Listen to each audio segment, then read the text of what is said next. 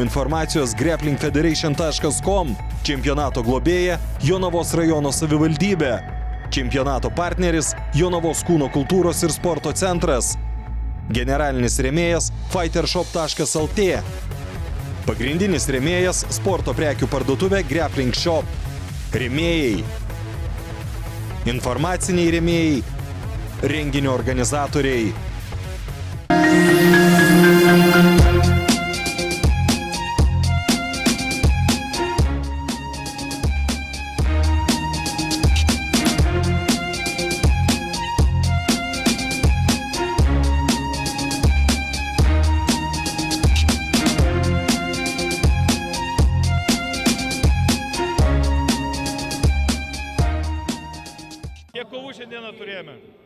Dvi kovas turėjom. Norėčiau labai, kad papasakotumėte apie šitas kovas, apie pirmą ir apie antrąją. Nu, šiandien kovos buvo pakankamai, kaip sakant, aktyvios. E, Buvau pasiruošęs e, taktiką iš, iš, iš anksto ir e, pavyko ją įgyvendinti ir laimėti kovas. Tai skau- viena smaugimo veiksmų, kita rankos laužimo. Į ką labiausiai reikėjo atkreipdėmėsi? Tai sunkiausia tai yra parsigriauti parterį. Tai tas tikslas, nes labai visi stiprus e, stovėsenoje ir, ir man pavyko perėti į parterį, o parterį jau viskas e, pagal taktiką, pagal techniką e, buvo atlikta. Kaip sekasi e, dirbti ir sportuoti, turėti pareigas ir sportuoti? Kaip čia va šitoje vietoje, kaip gyvena šitai, šitokį gyvenimą? Nu, iš tikrųjų labai sudėtinga suderinti ir reikia derinti visą veiklą ir organizaciją, e, varžybų e, planą sudė- sudėlioti eigą ir pačiam pasiruošti tikrai yra sunku, nu, bet kai nori labai, tai viską suspėjai. Asmeniniai tikslai artimiausi. Sporte. Tai tikrai sportuoju, ruošiuosi ir pagal situaciją, kaip ir e, sakau, stengiuosi dalyvauti veteranų meistrų va- varžybose ir, ir pajudėti dėl savęs. Tai ir e, formą palaikyti, ir e, pavyzdį kitiems parodyti, kad visą laiką galima judėti į priekį, nesvarbu kiek tau metų ir tą formą iš, išlaikyti. Sveiki, gyvi Sportvieno televizijos žiūrovai. Romaldas Girdiušas ir Kasparas Strasdas pradeda mūsų dar vieną Grappling LT laidą. Ir šiandien mes pradedame kovą dėl absoliučios svorio kategorijos nugalėtojų titulo. Ir tikėkime, kad e, ta kova paliks tikrai gerą įspūdį. Arlandas Tamošaitis. Andrėja Šebatano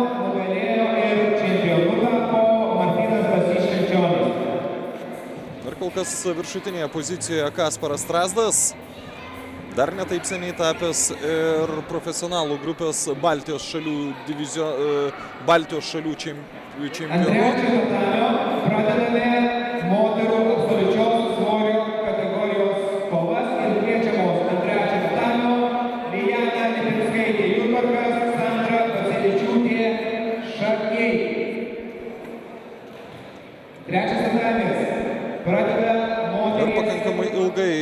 panašioj, panašioj pozicijoje e, įsidėstė kovotojai.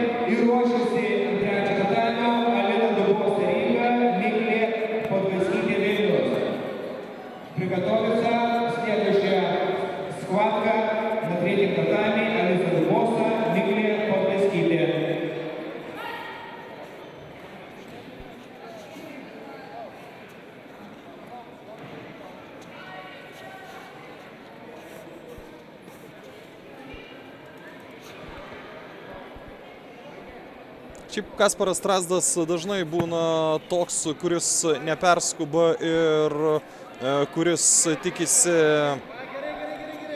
Ir kuris tikisi.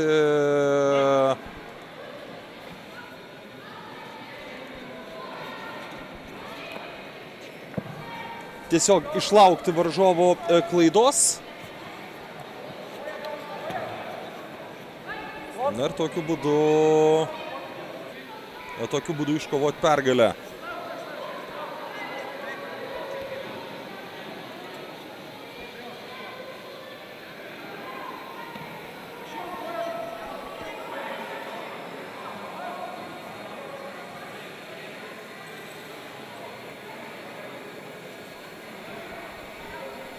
pakankamai arti e, ši dvikova Pakankamai arti ši dvikova prie pabaigos, bent jau kalbu apie laiką, kuris yra skirtas e, dvikovai.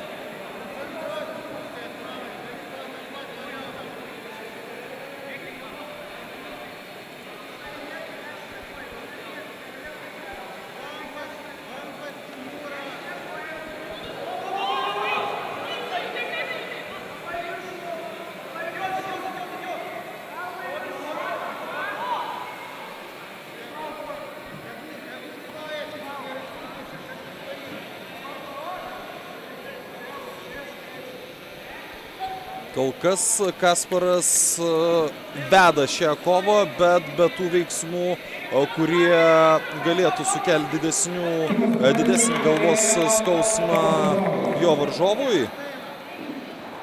Pataisa, tada kviečiami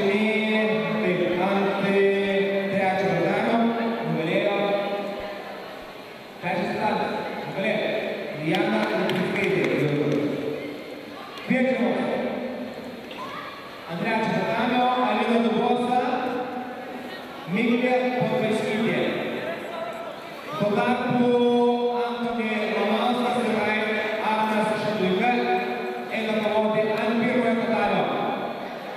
Romanovas ir Šaduika eina kovoti ant pirmojo katalio.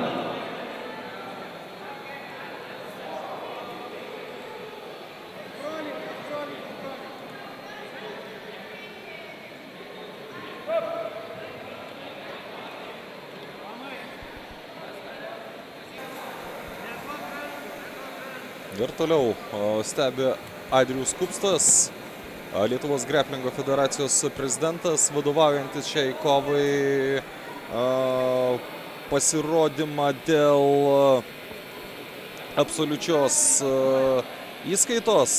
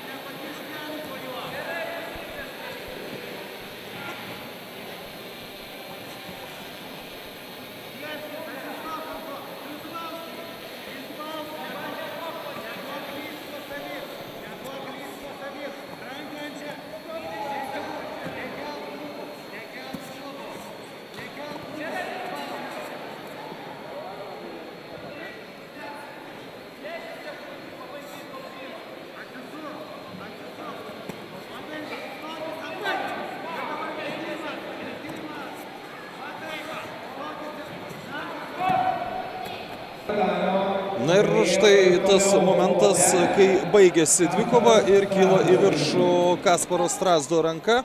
Jis yra šios dvikovos nugalėtojas Edvardas Petrovič prieš Tomą Smirnovą. E, Dar, vieni, e, dar viena kova taip pat dėl, o, dėl e, absoliučios svorio kategorijos titulo. E, Du smaugliai, atsiprašau, ne du smaugliai, o du Vilniečiai dabar susikauna e, kovoje. Tomas Smirnovas atstovauja smaugliui jo varžovas e, E, jo varžovas Pankratos klubui apatinėje pozicijoje Tomas ir tai jam nėra problema atlikti skausmingą veiksmą ir tokiu būdu iškovoti pergalę.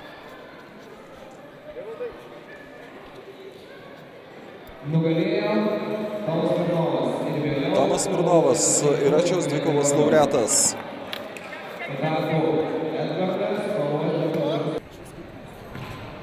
Na ir dar viena kova. Arnas Šaduika prieš Kasparą Strasdą. Dabar jau tikrai du smaugliai susikauna tarpusavį.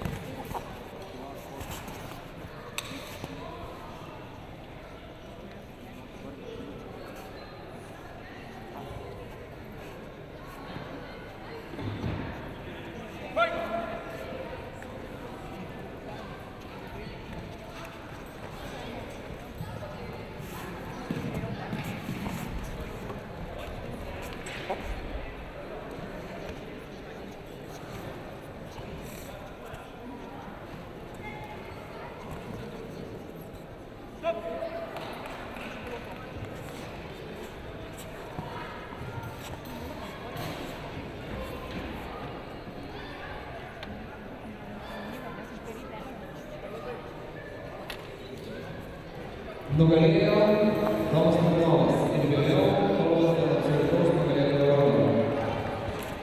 Tuo tarpu Edvardas kovos dėl trečios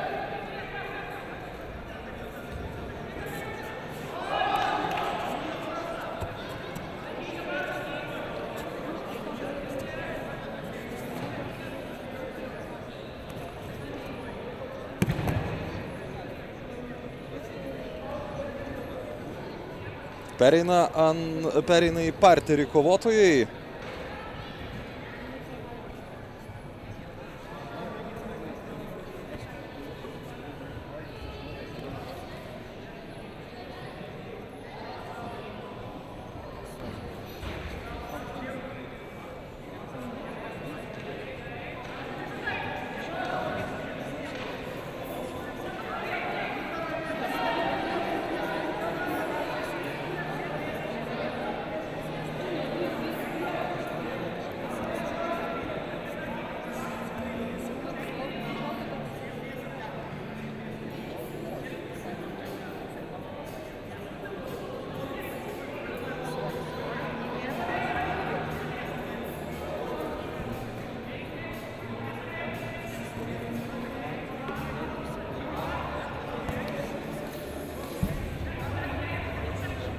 Vėlgi, kaip ir pusfinalio kovoje, labai niekur neskuba, e, nie, niekur neskuba Kasparas Strasdas.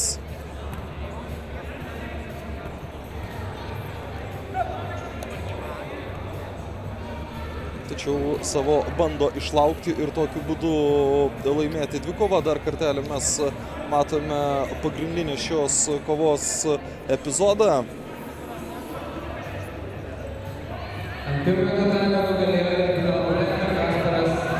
Kasparas Strazas iškovoja Daugiau pergalę. informacijos grapplingfederation.com Čempionato globėja Jonavos rajono savivaldybė. Čempionato partneris Jonavos kūno kultūros ir sporto centras. Generalinis rėmėjas fightershop.lt.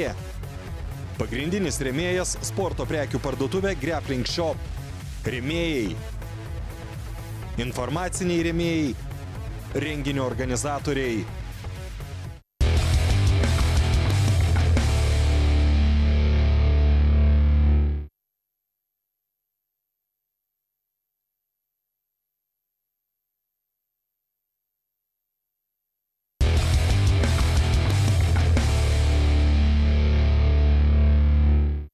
Daugiau informacijos grapplingfederation.com Čempionato globėja Jonavos rajono savivaldybė. Čempionato partneris Jonavos kūno kultūros ir sporto centras. Generalinis rėmėjas fightershop.lt. Pagrindinis rėmėjas sporto prekių parduotuvė Grappling Shop. Rėmėjai. Informaciniai rėmėjai. Renginio organizatoriai. Kągi grįžtame po pauzelės. Edvardas Petrovičius ir Arnas Šaduika dėl trečiosios vietos kovos dabar absoliučioje įskaitoje. E, Vėl du Vilniečiai, Vilniaus Pankratos ir Vilniaus Smauglio atstovai.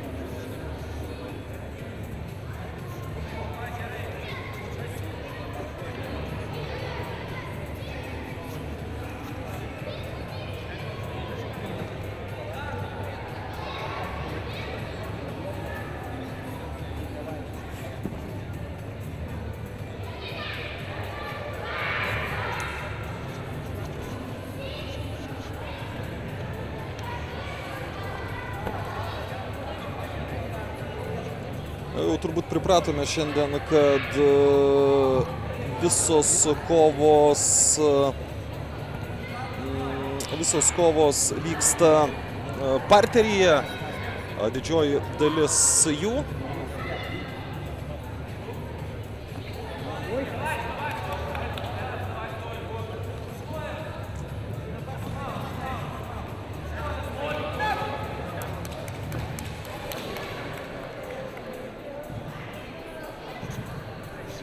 Čia dar kartelį matome tą lemiamą veiksmą, kuris, e, kuris leido iškovoti pergalę ir tuo pačiu e, trečiąją vietą Arnui. Arnas Šaduika, trečios vietos laimėtojas. Netrukus jūsų dėmesiu ir finalas. Tomas Mirnovas prieš Kasparą Strasdą. Du puikiai vienas kitą pažįstantis smaugliai.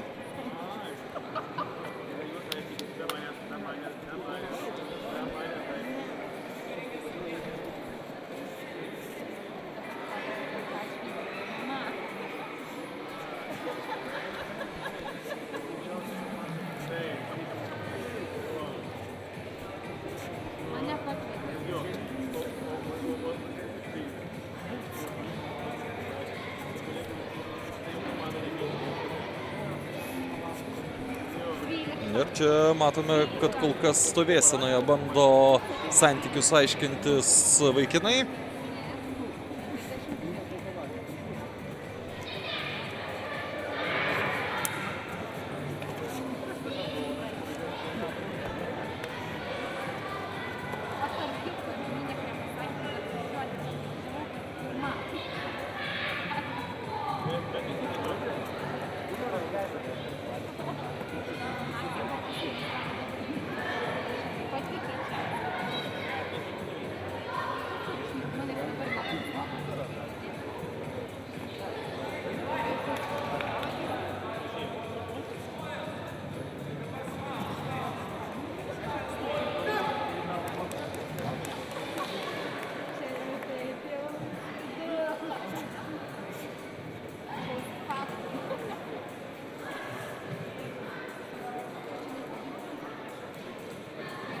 Pirmas Antanas nugalėjo ir trečią vietą iškovojo Arnas Šaduika. Vėlgi, pakankamai ilga dvikova. Priminsiu, kad penkios minutės yra skiriamos a, vienai kovai.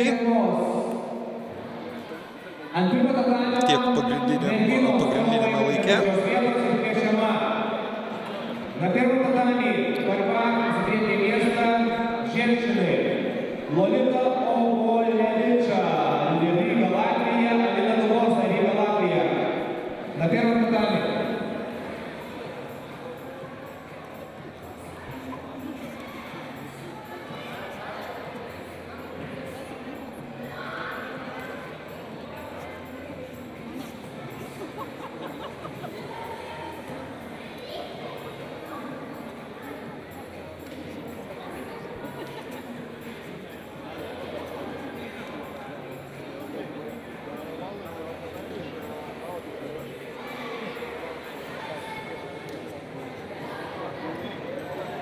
Ловит.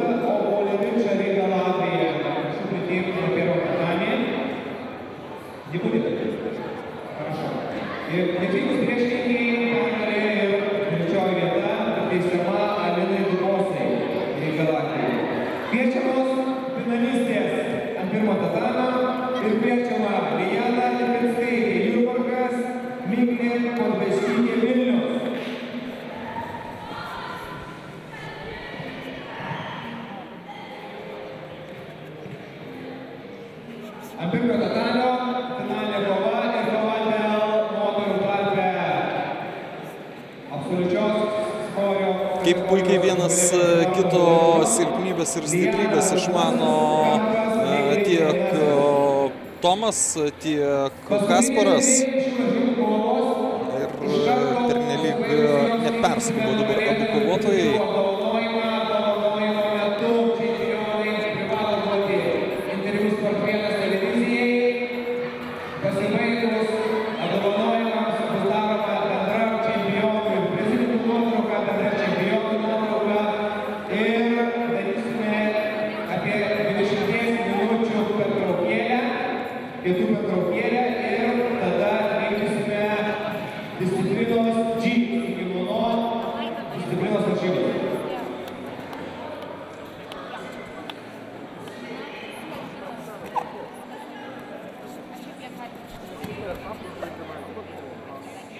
Iš tikrųjų, tarsi sulėtintai vyksta finalas.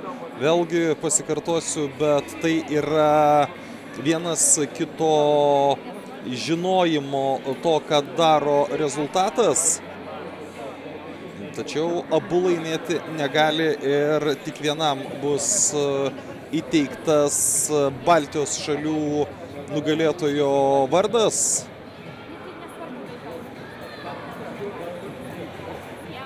Na ir mes tai sužinosime labai labai greitai. Vienas svarbiausių 2021 metų varžybos, penkios minutės jau yra praeitį. Per pagrindinį laiką kovotojai neįsiaiškino, kuris jų geresnis.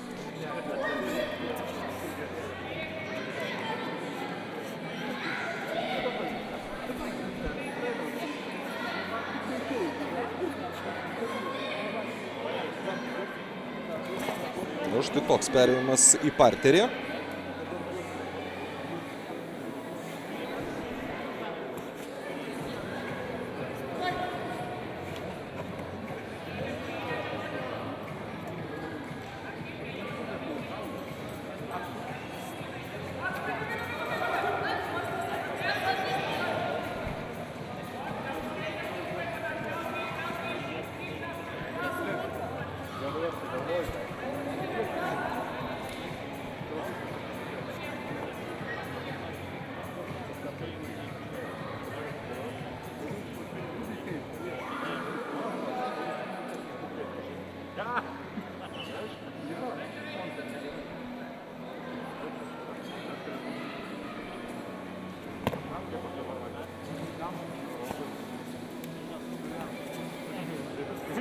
Merginų tarpe absoliučia nugalėtoja ir viršų savininkė tampa Miglė Pabaiskytė Vilnius. Teisėjai laisvi. Ant pirmojo tatamo ir lieka paskutinė kova. Finalinė kova jau vyksta pratesimas vyrų tarpe. Ir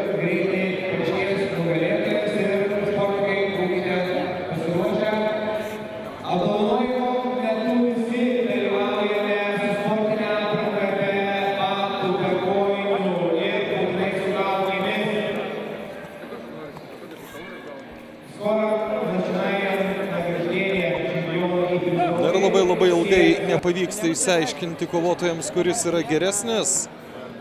Atrodo, kad po pratesimo vis tik teisėjai priima sprendimą. Finale yra galimybė ir antrajam pratesimui. Čia Tomas Mirnovo ranka kyla į viršų. Turbūt, kad nebuvo lengvas sprendimas teisėjams, bet jis yra priimtas. Į savo kategorijų kovojau dvi kovas, absoliučioj kovojau tris kovas. Ką gali išskirti iš šiandienos kovų? Kurie? Sunkiausia buvo, žinoma, abs- absoliutus svoris, nes svoriai didesni, varžovai didesni. Ko išmokė per šiandienos varžybas? Kas užsiliko? Reikia kovot. ne, visa esmė, kad nereikia sustoti niekada, visą laiką turi judėti, judėti, judėti, judėti, judėti.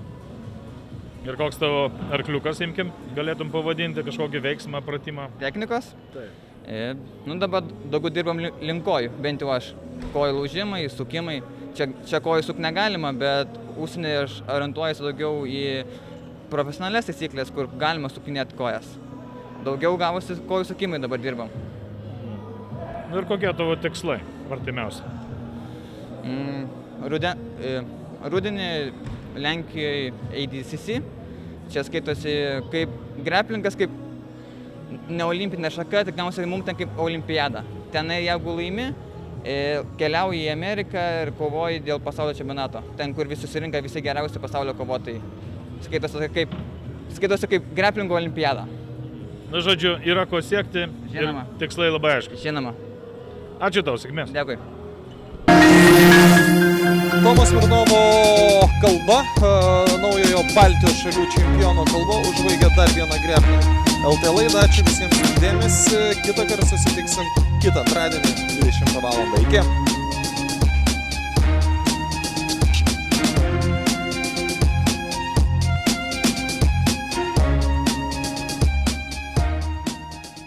Daugiau informacijos grapplingfederation.com. Čempionato globėja Jonavos rajono savivaldybė. Čempionato partneris Jonavos kūno kultūros ir sporto centras. Generalinis rėmėjas fightershop.lt. Pagrindinis rėmėjas sporto prekių parduotuvė Grappling Shop. Rėmėjai. Informaciniai rėmėjai. Renginio organizatoriai